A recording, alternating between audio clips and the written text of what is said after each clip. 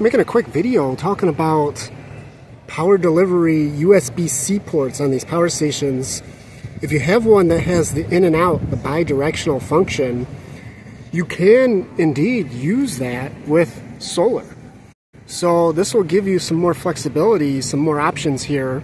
Now we'll kind of talk about there are upsides and downsides to using USB-C, you know, compared to the standard solar input.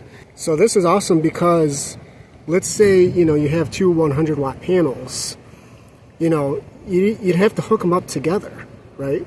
You'd have to hook them up together either in parallel or series. And series, you know, is fairly easy to do if your solar panel has MC4 and the power station can accept a high voltage, right? This particular one can only accept 24 volts, so series is out of the question.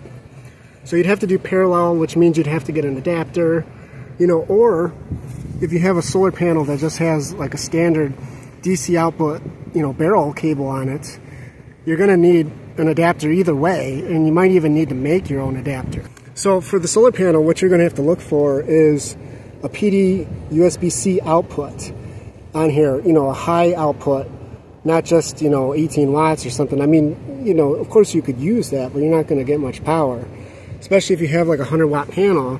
This one here is actually a 65 watt.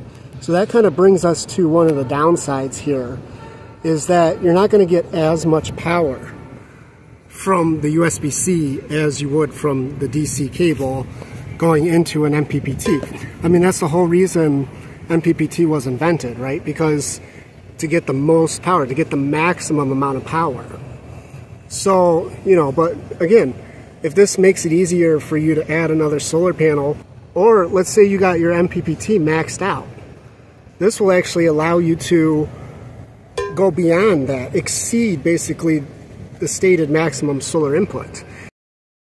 All right, I plugged it in, plugged it into the DC MPPT input, and actually we're getting, I can't even see that. Can you, you guys see what that's saying? All right, so the sun is full out now. So I, I guess we're going to do the comparison with full sun. And yeah, we can't, I can't see it on the camera, but it's getting, it's getting 73 or 72 watts. There it is. You can see it. 70, oh, 71, 72. All right, let's put the USB-C in real quick.